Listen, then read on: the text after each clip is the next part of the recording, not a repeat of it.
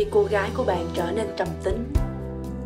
Người con gái hay đùa giỡn, hay cười nói đó, hay quan tâm đủ điều và hay bắt bẻ bạn mỗi lần nói gì đó rồi cười phá lên.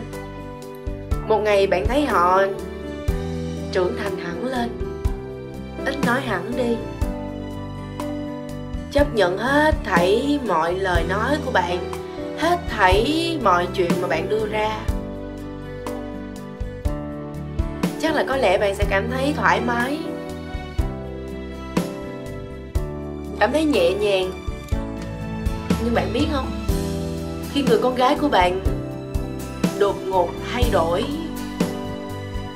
và chiều theo ý bạn, im lặng trước mọi câu chuyện, không phải vì họ trưởng thành hơn đâu,